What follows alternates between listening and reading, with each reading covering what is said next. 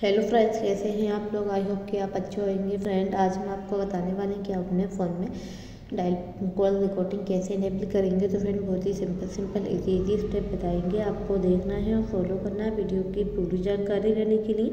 Video last तक ज़रूर देखना अगर फ्रेंड आपने मेरे चैनल को सब्सक्राइब नहीं किया है तो बेल आइकन को दबाइए। चैनल को सब्सक्राइब कीजिए। फ्रेंड आपको ऑप्शन देखने में आता है। फ़ोन में सेटिंग सेटिंग को ओपन कर लेना ओपन करने सॉरी यहाँ से आपको बेक हो जाना बैक होने के बाद में यहाँ से डायल पैड पे ऑन करेंगे थ्री डॉट पे क्लिक करके सेटिंग पे क्लिक करेंगे। यहाँ से आपको काफ़ी ऑप्शन देखने को मिलता है। तो जैसे कि आपको अपने फ़ोन में कॉल रिकॉर्डिंग इनेबल करना तो यहाँ आपको ऑप्शन देखने को मिलता है। कॉल रिकॉर्डिंग यहाँ से आपको सिलेक्ट कर लेना।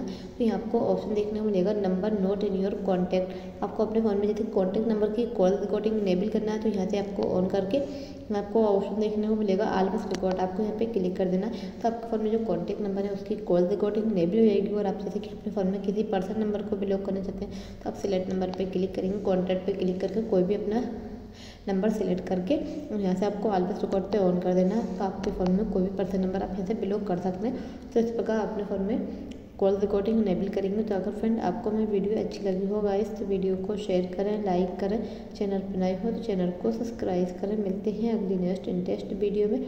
जब तक के लिए बाय टेक केयर